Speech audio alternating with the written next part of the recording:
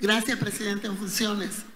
Era solo para pedir a la Comisión de Educación y Cultura agilice la discusión de esta iniciativa, porque en estos días, eh, por ejemplo, en la presencia de Álvaro Torres fue nombrado un salón en la Feria Internacional dedicado a él. Mañana va a dar un concierto muy importante en el CIFCO y en ese sentido pues estamos viviendo una semana de destacar el valor de él en el arte y del servicio a la patria.